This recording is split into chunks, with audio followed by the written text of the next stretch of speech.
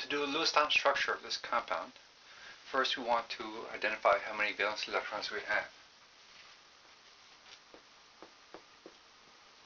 So we have uh, carbon, which is four, two hydrogens, each one has one, oxygen, which has six. We have 12 electrons, we can divide that by two, and we get six pairs. We're going to want to always see the electrons in pairs unless we have an odd number of electrons. So we want to lay out the atoms here. We're going to take the first atom as the central atom, carbon. Carbon loves to be central. The other atoms will put directly on carbon. We put in a bonding pair between all the bonding atoms. We used up three pairs. We have three more pairs left.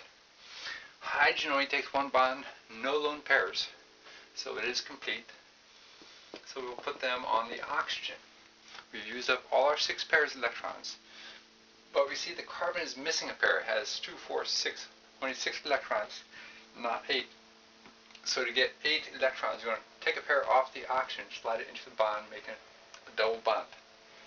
So now the carbon has its eight electrons, the oxygen still has its eight electrons, and each hydrogen has its one bond. So now we have a complete Lewis dot structure.